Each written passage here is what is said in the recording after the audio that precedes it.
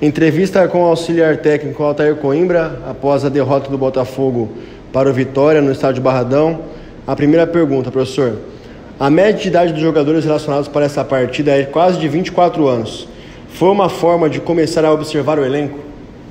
Então, boa noite. É, com certeza, né, infelizmente, quando não atingimos o objetivo, uma das metas dessa né, comissão atual e a diretoria é já pensar numa reformulação e principalmente dar oportunidade para os atletas novos que estavam com a gente, mas que não poderiam ser lançados naquele momento mais difícil. Então achamos que nesses dois últimos jogos é o momento ideal para esse lançamento desses atletas, para eles amadurecerem cada vez mais. Professor, como você avalia a atuação do Emerson, que teve a primeira chance como titular na equipe do Botafogo? Eu acho que o Emerson vem conquistando espaço dele quando ele entrou já no, no jogo contra o América, é, fez um, jogou 40, 45 minutos, não me lembro. E durante a semana ele fez um bom treino, um bom treino uma, né, uma boa semana. Então ele conquistou a oportunidade dele. E mesmo que a gente achasse que ele fosse espetacular ou não tão bem, a gente tem que ter cuidado que é a fase de amadurecimento desses atletas e vai ter uma oscilação sempre que eles estiverem entrando até ter o amadurecimento perfeito né, para desenvolver um bom futebol profissional. Professor, é, falando ainda dessa observação dos atletas, diante do operário, a tendência é dar mais oportunidades para os jogadores da casa. O Dudu, por exemplo, pode ser uma novidade?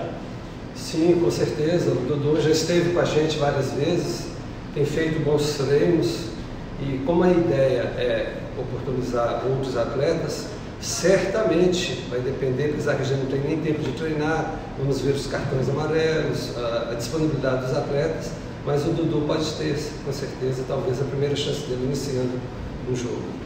Professor, a pergunta agora é do Reginaldo Decares. É, Altair, faça por favor uma avaliação desse time do Botafogo no Campeonato Brasileiro da Série B. E a comissão técnica vai continuar?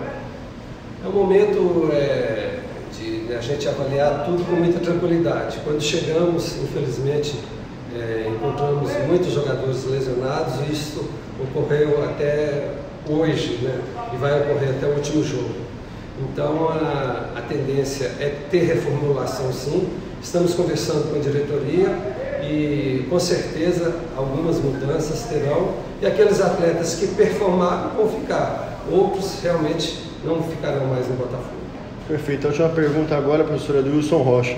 Altair, boa noite. Botafogo foi um clube muito correto com os jogadores, pagou em dia, ofereceu excelente condição de trabalho. E, vim, e vendo os jogadores hoje forçando o terceiro cartão amarelo para não jogar hoje uma partida em casa. Você não acha isso ingratidão? Fale, por favor a gente não pode falar nada, né? O Botafogo, estrutura, tudo né, que nos ofereceu.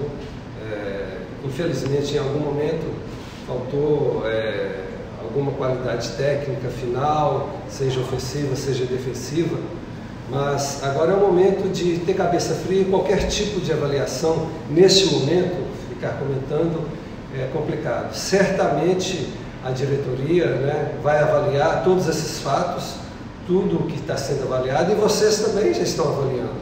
E certamente as providências serão tomadas para a gente, né, se Deus quiser, começar forte a Paulistão esse ano.